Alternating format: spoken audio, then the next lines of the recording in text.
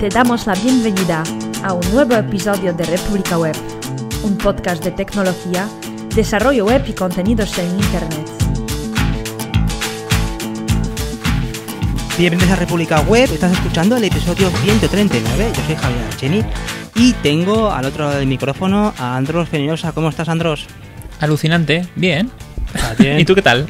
Muy bien, aquí preparado para otro episodio. Teníamos una teníamos ahí una entrevista pendiente, al final no ha podido ser por calendarios, ha torcido la cosa. Y vamos a hacer otra cosa con nuestro amigo David Vaquero en Salamanca. ¿Cómo está, David? Bien confinado, pero aquí andamos contentos.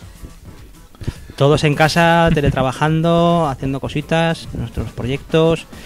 La historia está que yo os he propuesto así a la carrera, ya que no sé si nos ha descolgado el invitado, eh, de hecho prácticamente ni ha contestado.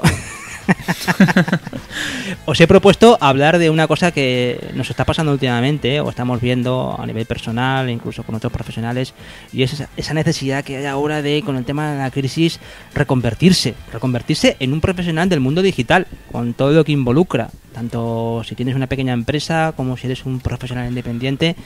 Por eso me gustaría tratar con vosotros eh, cómo estáis enfocando esto a nivel de amigos o gente que os consulta, que sabe que os dedicáis a esto, incluso a nivel profesional, vosotros que sois formadores, que tenéis una, un perfil de formador y que estáis viendo continuamente ese tipo de situaciones, ¿no? Gente que quiere retomar su carrera profesional en el mundo online porque ve que el mundo va por ahí y que además con el tema este de la crisis todavía más. Entonces, ¿cómo veis vosotros en vuestras eh, academias y perfiles profesionales relacionados con la formación el tema este?